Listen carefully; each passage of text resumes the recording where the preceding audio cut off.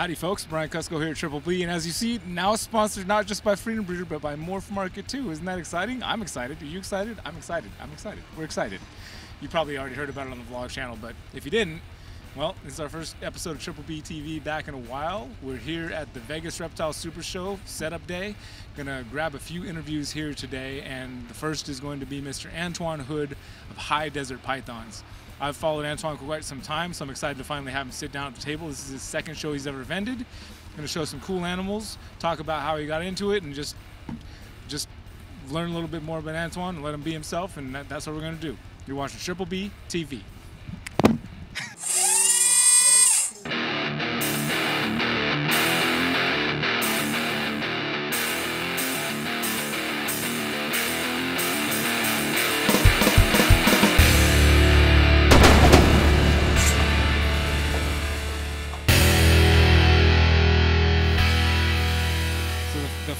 Bro, the first time, uh, the first time, I, I didn't meet you, but we were like, I see you on Facebook and stuff.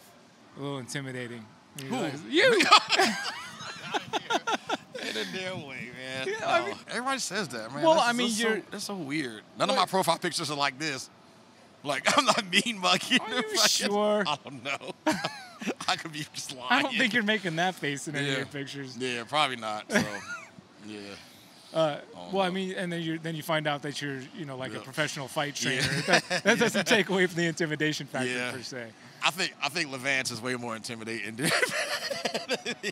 Well, he could be, but then you meet Levance in person too, and Yep. he's super smiley and For happy. real, right? Yeah. Yep. So, but I guess we both can turn it on though. So I sure can. But I don't know. It takes a lot to, to get me to that point though.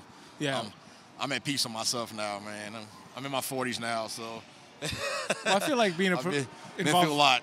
I feel like being involved with professional fighting. You usually walk with. li- You got enough confidence. You don't need to act like a like a badass. I don't like. I never. I mean, you know, it's like the more you train, the more you get humbled in the gym, the more you get your butt whooped, the less you want to even deal with that stuff, man. You know, and then like I haven't been in the actual like fight outside of competition or military or security since I was like 11 years old. Like no one bothers me. so I mean, and I was tiny back then. You know, like I didn't. In high school, I was like 115 pounds, so I was like five foot eight. And then one day, I just woke up and I was like, "Oh shit, me ogre!" And I fucking hit gamma rays or something.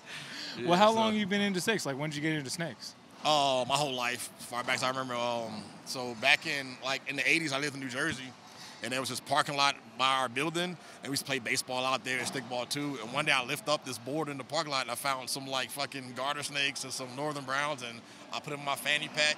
Asked my mom for a tank. She went to Animal Kingdom, bought me a big tank. I dumped them in there, sold them for two bucks a piece after that. So, you know, I was the original flipper. Wait, wait, you were you were how old? I was like uh, nine, eight, nine years old. Eight, nine yeah. years old, like 88, selling 89. Yep. reptiles. Yup, I just walked around. I had a leather Nike fanny pack or whatever, man, and I would like have my in there for the day and get to the house, put them all in there, throw my little slugs and earthworms in there to feed them. So, yep. Wow, that's cool, man. So, Yeah, when so- did you start breeding them then? Like, so, um, well, they kind of just did the work themselves, obviously, too, because I got some adults and found some, and like, you know, five or 10, c- six months later, turned to like 50, 60 different babies, and I would just sell them. And then one day I just got tired of them, sent them all back to the wild, and that was it. And um, I didn't even know a ball python existed until 05, when I, my last year in the Marine Corps. How crazy was that? Never heard of a ball python. I knew about boas. I had red tail boas before. I've seen like Papua olives, but not no damn, you know what I mean, ball pythons. So one of my Marines was just like, um, "Hey, uh, Sergeant, you want to watch my snake for me?" And I thought it was like a joke. I was like, "Oh, this is a big joke coming," you know. and he gave me the snake. I did some research on it. Oh, it's pretty cool. It's just a normal, you know. He never asked for it back, and I kept it for like a couple years, and then. And then um, one day I just went online and Googled some ball python stuff and found Brian Barczyk, and I saw a pinstripe hide on there. So I called the number, and I was like, "Hey man, how much is this thing?" He's like, "Oh, twelve thousand five hundred. I was like, "Is that kind of money in these things?" He's like, "Yeah, I got a whole facility and da da da." And like he kind of put me on game then and there. Told me about his YouTube channel. Started watching that, and then I was like, "Well, I can't afford that, but I'm going to do my damnedest to make my own." So that's when I started breeding. I've never made a pinstripe. so wait, this was like 06 then? 07, 08? 07, 08 time Okay. frame, yeah. So I was like, uh, and I was still on, on the East Coast too. I like to make my own. And to this day, I've never made a pinstripe pie. I came close. I've made an Enchi pin pie, but you know how like projects start moving on and evolving over the years and stuff too. And We made a pin know, pie with Enchi in it. Yeah, exactly too. So it has even more pattern. Yep. And then um, now just that's a lot of train of thought. but yeah, so uh, Enchi pin pies now I do. I'm doing every recessive now all over the place too, and it's just I'm loving it, man. I'm having a good time. I'm like this year, my first time dealing with blackhead stuff and my first Partho clutch ever. You know what I mean? Let's So- see. Let's see some of that stuff. Let's so- pull. Let's pull what, what you got. so, blackhead leopard Mojave hypo pos het pied if she gets out of her little her ball. So, yeah. So uh, I just bought her as a display animal. I don't plan on selling her, but you know how these shows get, man. If somebody goes, "Come on, man, you got to give me a price," she may go. But you know, I just I think I'm gonna start messing with a lot of blackhead stuff this year. So I'm gonna do um, blackhead. I'm gonna do uh, blackhead DG clown stuff too. So I might just like uh, take like a male DG clown maybe and put this to her and see what happens and you know so. But yeah, pretty proud of this clutch, man. Uh, it was um, blackhead head to a uh, leopard Mojave um, visual hypo pos het pied. So yeah, came out pretty cool. Desert Desert Ghost Blackhead Clown. Yeah, that'd be that'd be cool, man. I want to uh, get into that project too, and I just love the pattern on it too. But but imagine like this same pattern here, blackhead leopard Mojave DG clown.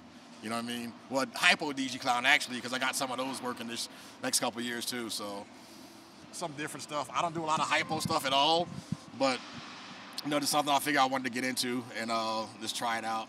A lot of people kind of get past, like, look past hypo now because you know, there's like it's the poor man's recessive too, but it's so many things you can do. Um, this year I got my hypo head clown bred to my enhancer double head G stripe clown, and um, yeah, I'm just keeping back all the visual clowns from that, and you know what I mean, just kind of playing with that and adding some codoms into it, and then just uh, So all the hypo that I see, like when it becomes an adult, it basically looks like it did as a baby. That's what I see. Yep. Too. So um, and then this one here, uh, I believe this is my first Partho ever because there's nowhere I got like um a super lesser from a hurricane to a lesser, and everybody's like, well, the hurricane's got some hidden bell complex in it. I'm like, that hurricane head clown male. He has like 20 clutches under his belt, and he's only made himself and and whatever else the female was. So, I mean, and then under the black light, you can really see the pattern in this girl too, and she's in shed now. But you know, just another girl I decided I come show off, and especially at reptile shows, man. The main question I get: Do you have any bananas, pies, or blue-eyed Lucy? So I was like, you know what? I'll show you something, you know, and just something to bring to the table. And once again, I don't want to sell her, but you know, it's not like she's a ten thousand dollar animal or anything. So if somebody really wants her, we can work something out too, and and she'll just get sold. I had a girl, a lady at the last show that, yeah, like you said, really wanted a mm-hmm. blue-eyed Lucy, and Yeah. she like was hounding me after the show to try and find out. She was just like, next, as soon as you have one, please call me. Yeah, it's so crazy, man. Like, um, a lot of breeders are called looking around for bells. So I'm like, why does everyone want bells? Like, I can still sell bells for six, eight hundred dollar range too, and but I just don't have a whole lot of that stuff going around because I'm moving on to like your triple and quad recessives and things like that too. So that's the main goal. Well, the big goal is hit a five gene recessive. So, so if I can hit a male five gene recessive, I'm reducing my collection down from uh, maybe like five males and maybe 25 females, and that's it. And I'll just make quint heads forever. too. Hold on, hold on. Come here, come, here real quick. Come on, come, go, go, go, go, go over here, over here, over here. Phil, Phil, over here, real quick, please. This is perfect because I was, I was wondering, where did this come? So why, why, what is, what, Antoine? Like what? Okay, anytime we're at the U.S. Auction and Antoine bids on something, this guy, Antoine, where did that come from? be the Texas show where it started. It's just it's been around for what four four or five NARBC auctions now. Yeah, so So I missed the inaugural Antoine. Antoine had a grappling match that he won, and since he won, obviously he's a big dog, so you got to give him a big growly voice. So, He might he may smile like a teddy bear, but he's a he's a man bear. All right, all right. Thank you. I- I'll do it. Let's see if I can bust it out. Antoine. I'm glad that happened. I really, I wanted to ask that. That was great. I'm glad you walked right by. holy crap. Yeah, man. So, yeah, man. Just oh, those just happened to be in the in the thing. You didn't. You Nah. didn't those those other ones just happened to be in there. You didn't want to show them. oh, um, I wanted to show off this one too. Okay. Um, so I wasn't too sure about this one having gravel in it. Cause, Here, you, um, you go keep that up there. I'll film the snake. All right. Because I proved out um, that the sire was actually gravel, so it was a pastel uh, Enchi gravel head clown to an Enchi uh, head clown. So I don't know if I got gravel in this or not. So, but it's definitely a super Enchi clown, and it was the star of the clutch, the only visual clown. So, um, you know, I could wait and get her genetic tested, but I decided if I, I was gonna put her for sale, I was gonna meet them halfway and sell it for a thousand bucks. So, you know, if she proves out to be gravel, you got a super Enchi gravel clown for a thousand dollars. I don't Yeah. think I don't think that's bad at all. You know what I mean? So, uh, and somebody probably watch this and be mad. Why do you only sell it for a thousand dollars? Because you But- can't prove it. you know what I mean? So, you know, if somebody else can put in the work and see what happens, I mean, you know, more power to you. But, you know, I mean, I would love it for it to prove out gravel for somebody and they could do some other stuff with it. But Yeah. I just have so many other projects. And actually, I'm really team asphalt. So most of my stuff, I'm making pavement clowns this year. I'm making super asphalt clowns. That's um, Heifer Pine. I'm working on super asphalt DG clowns too. So, um, yeah, gravel is cool, but it's just a little bit a shade lighter for asphalt. And I don't like how the super gravels and the highways, like as they get older, they, they lighten up some. And I rather like the asphalt where it stays dark. So Gotcha. And I mean, super Enchi not. If you want to have Yeah. Enchi in your clown project, mm-hmm. then you just guarantee it right there with this girl. And you, sh- you just can't go wrong with having any kind of. Get back there, Missy. You can't go wrong with having any kind of mm-hmm. visual clown female. That's just even if it's just a clown female, it's a mm-hmm. visual clown female. awesome, man. Well, shoot, dude. We usually keep these things like ten minutes or so. Yeah. So it's like, uh, anything, anything you want to say to the people? While Um, well, I mean, this is my second show I'm vending, and uh, like, I, t- I had a lot of takeaways from the first show too, because I did the Pomona back in uh, no uh, Anaheim back in July, and I made so many mistakes, and the big one was like not knowing my audience. So, um, a lot of these shows you got to realize and do your research and see the kind of people who come, the customers. So I had a lot of investment stuff. So half of my stuff was like females, triple heads and quad heads, and people look right by those things because it looks like a normal looking ball python, and they're not like in the investment thing. So everyone wanted pies, bells, and bananas. That's it.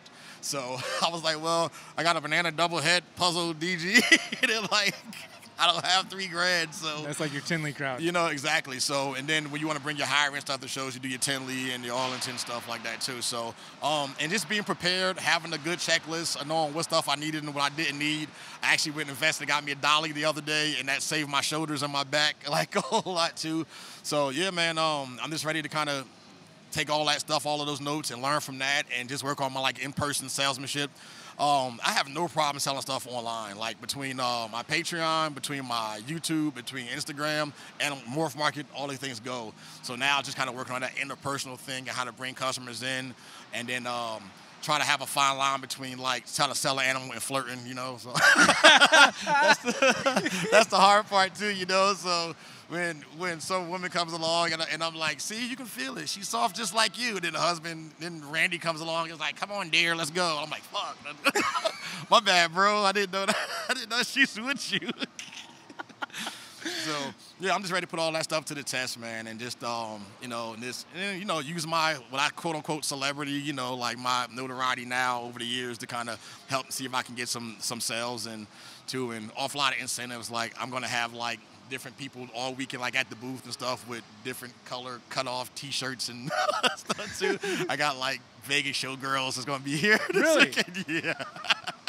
so it's gonna be cool to see how that works and stuff too. So um, yeah, and I'm just grateful to be uh, vending with my boys, man. So shout out to Troy from Best Dress Balls, Andrew from Redwood, Jerome from No Limit, and Jacob from Silver Serpents, man. So we got the real big island right in the middle of the whole thing, and uh, all different projects, no egos aside, just a bunch of friends trying to have a good time and sell some animals, man. So I'm grateful for it, man. I'm just grateful to be here, and I'm ready to have a good time, you know. man.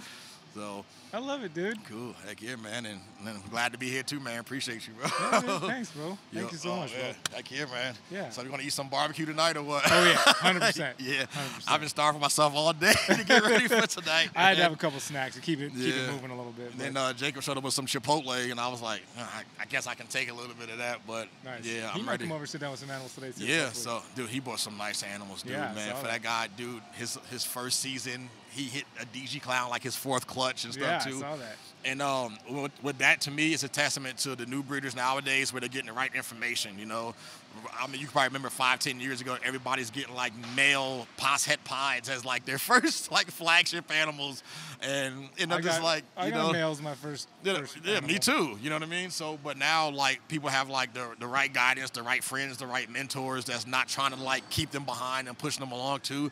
You know, Jacob's one of my Patreon members, and he's got better snakes than I do, like pound for pound. You know, well, honestly, he's probably got probably two of the best snakes that's going to be in this whole building this weekend too. So um, it's going to be exciting to see people come by and talk to him about that too. So I'm super proud of him, man. So he, he's going he's going to be a superstar. So you know, so but. Yeah, man, that's it, man. I'm just ready to do that. Watch some fights Saturday. Oh yeah, we're having the fights at uh, our Airbnb uh, Oh, tomorrow too, so you can come through. Oh, please. Yep, I do. so- the, Diaz, Nick, the Diaz brothers are my favorite of all time. So the original fight got canceled today. So uh, Khamzat, uh, he was eight pounds over. so now they're doing Tony Ferguson versus Nate Diaz and Kevin Holland the versus last update I saw was last night when they canceled the press Mhm. conference. Yeah, they canceled the fight today. Really? But um, Nate is fighting Tony Ferguson instead. What? Yeah. so that's gonna be cool. I like that fight even better, to be honest with you. And then Kevin Holland is fighting Khamzat, and that's gonna be a good fight too, because they don't like each other either. And that was the whole brawl Yeah, backstage. right. They were swinging on each other, acting up. So. Yeah, it's gonna be cool, man. I'm gonna be uh, excited to watch that. Wow. So you're invited. Yeah, we said we got the big Airbnb. There's a pool there too. There's Oh, there's foosball and stuff too. So I didn't even I didn't catch that. I've been Yep. driving all Yeah, day. and then doing all this stuff too. Somebody called me who had tickets from my town. I was like, hey man, you know they pulled the fight. And he was thinking about selling his tickets, so they moved all the people around. He's like, nah, we're going, bro. So, um, but yeah, man, this is it's super exciting. This looks way better than the last show that I was here in Vegas back in March. I mean, but it wasn't a reptile super No, show though. So, so shout out to Rami, man. He, he's killing it, man. So I'm hoping the lighting gets a little bit better. It looks like every other bulb is on. Yeah, this is just for setup too, lighting. So yeah, so yeah, they'll, they'll brighten it up So I'm assuming it's gonna get super bright in here, Yeah, man, and um, yeah, it's, it's gonna be cool, man. So um, I'm gonna keep a lookout for people's bad kids from knocking stuff off the tables, like the Daytona show. That was pretty nuts. So um, yeah, man, it's it's gonna be a good time. So during the show, after the show, you know, I'm gonna try not to drink any alcohol because don't, look say under my, try- don't look under my I table. say, then. I say try, and then a couple hours later, I'm like, yeah, I'll tell you what, Brian. no, that's I don't get that sloshed any, anymore. But yeah, man. So, It's good, man. Good. Well, thanks for coming to sit down, bro. I appreciate oh it. Oh man, appreciate you, man. Fucking thank you, bro. Absolutely, man. Thank you guys for watching. Antoine's such a cool guy, man. That was that was a fun interview. Um, if you would like to tune in and, and get to know Antoine a little bit better, we're going to be doing a Zoom call today, like we do with all our guests. Link down in the description if you want to join us at that little after party this afternoon, and we'll hope to see you there. And excited to be back and doing these Triple B TV episodes with you guys once again, and we'll be having them roll out for the foreseeable future without pause. So tune in with us next week for the next episode of Triple B TV, and y'all take care.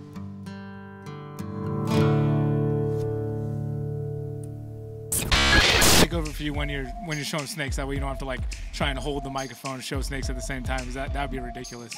I just uh, Do sound check or something. sound check, yeah, Levels. make sure everything works out. And then uh, there's no switch or anything. It's it's on for sure. All right. And then- Mike, I- Mike, Mike, Miggity Mike. What I did is I went ahead and forgot um, the little clips. I have stands, Yeah, yeah. but I have no clips. Cause I didn't screw my brain on straight before I left the house today. But like I said, I'll just snakes that way you don't have to. I'm not. I don't want to ask you to do too much. You know, that'd be asking too much. Awesome. Great job. Fantastic. I was confused because I thought we were just doing sound check. It I wasn't know. actually. I'm sorry. I always do. I always do that. I always do that because you know what always I happens. was like, 'cause I wanted to go. I'm like, man, let's just wait till the fucking. I'm like. I do, I do, I usually do that, Okay. especially because then then we just talk. You know, there's no like, okay, it's starting. But I'm, I'm a Well, I like that though. It was like super organic and stuff. That's that's what I want.